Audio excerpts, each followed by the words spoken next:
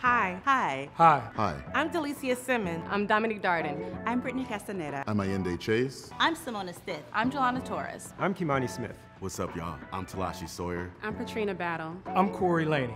And we Are Pernod Noir. Pernod Noir. Pernod Noir. Pernod Ricard. North America's Black Employee Resource Group.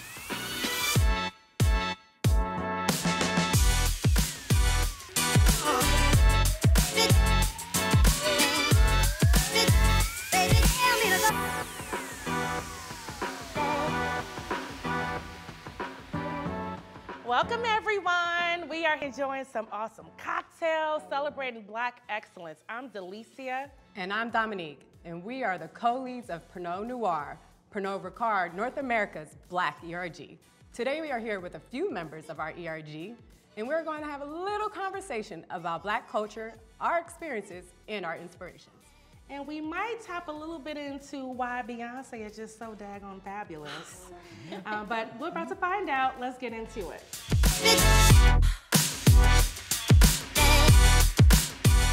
I'm going to ask an important question here. Okay.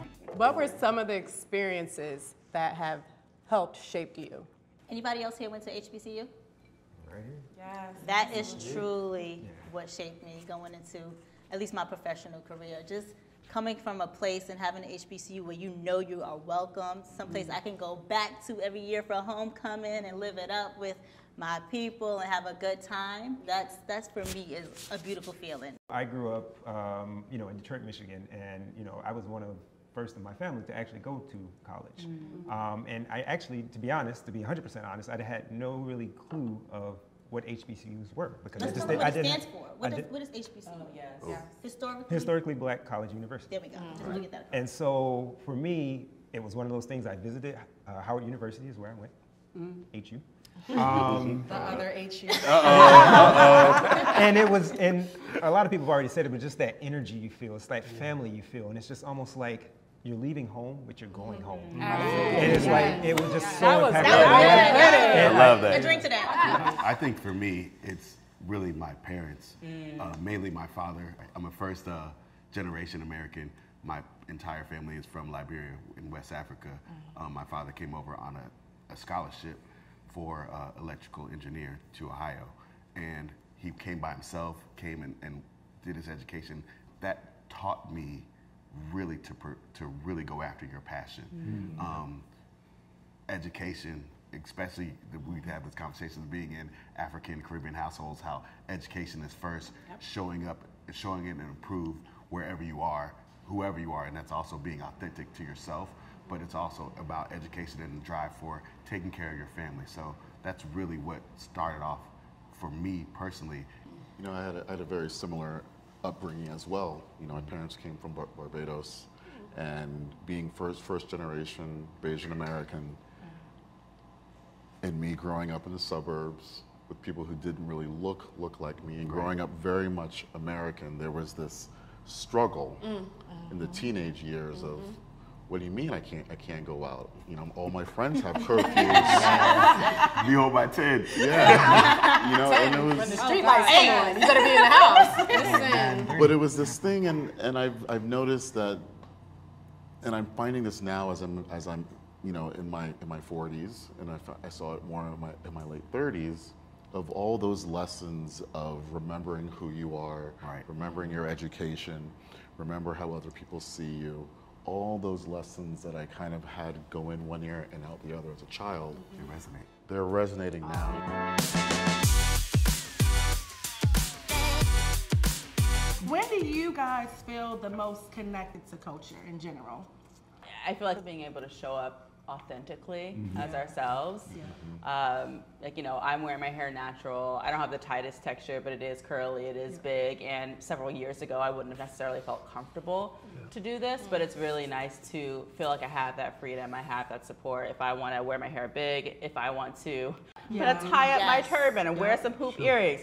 But I feel like in the past, I haven't necessarily felt comfortable to do Yeah. that, Yeah. to show up in a way I would show up in my community. But I love that I'm able to do that more and more. And I feel like that's how I start feeling more connected to my culture whenever I'm able to be and show up as my authentic self and kind of create space and facilitate that mm-hmm. for other people to also feel like they can do the same. Yeah. When I interviewed with Pernod originally, I debated whether I should just wear my natural hair in a bun pulled back.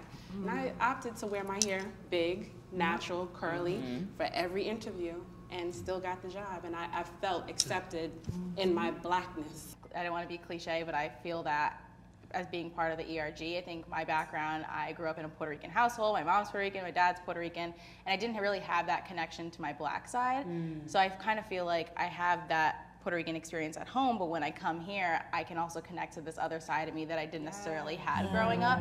And it kind of feels like putting two halves together and then like being around everyone else. yeah. I think it was very uh, welcoming uh, coming into this organization and feeling like uh, I didn't have to, to code switch. Uh, I could be who I am and people would accept me for who I am. And I'm still professional, right? But I'm professional in a way that I do it and I can still serve with my, my same purpose, if that makes sense. What or who uh, most inspired you? I think everybody probably gonna want to say their mama. Oh. I'm trying not to say my mama. After my oh. mama, I don't know, let me think on that.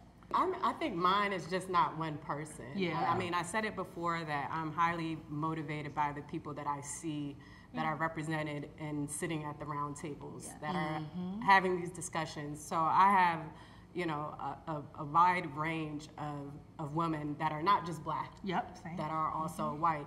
And so to me, it's just, you know, people who are truly invested into to seeing me succeed. Mm-hmm. That's what I dive into. I mean, I um, would say like my parents. Obviously, my mom is a force of nature, is a stay-at-home mom, and I think another person that inspires me is my dad. Mm-hmm. I, some may know, I lost him earlier this year, and I don't want to cry, but um, he was just just hearing like people that were inspired by him mm-hmm. and just made me want to like live in my purpose and be a, a kinder and more genuine like human being and just think i think if you walk through life thinking like oh when i'm gone what i want my impact to be it kind of makes every decision like more purposeful I think for me, it's very much, um, very much my peers. Like a lot of what a lot of you all were saying.